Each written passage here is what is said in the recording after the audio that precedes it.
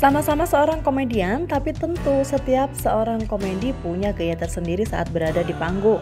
Seperti halnya Andri Taulani dan Entis Sutisna alias Sule, meski membintangi sebuah program yang sama di stasiun televisi swasta dan program lain, tapi masing-masing punya ciri khas tersendiri, mulai dari gaya membawakan acara juga lawakannya.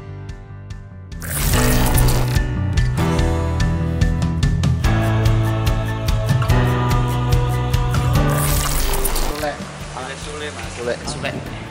Sule, Sule. Sultan Andara. Sule, Bang.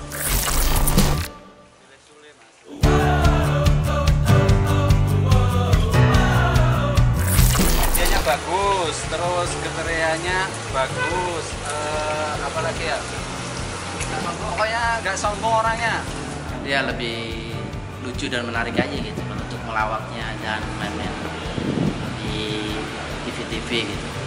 Eh, lebih lucu terus apa ya jokesnya itu kadang eh, nggak masuk akal gitu dan menghibur gitu Lucu. Terus eh, lawakannya natural. Karena paling lucu. Andre Taulani memang sudah lama terjun di dunia hiburan. Sejak tahun 1994, Andre terkenal sebagai musisi, sebagai vokalis band Stinky. Sempat vakum di dunia musik, kemudian muncul di dunia televisi pada 2008 bersama Sule, Parto, Nunung, dan Aziz Gagap di program OVJ. Sementara Sule mulai aktif di dunia hiburan pada tahun 2005. Ia memang mengawali karirnya sebagai seorang pelawak hingga saat ini. Hingga kini Andre dan Sule dikenal sebagai pelawak kondang yang lucu, kocak, dan sangat kompak.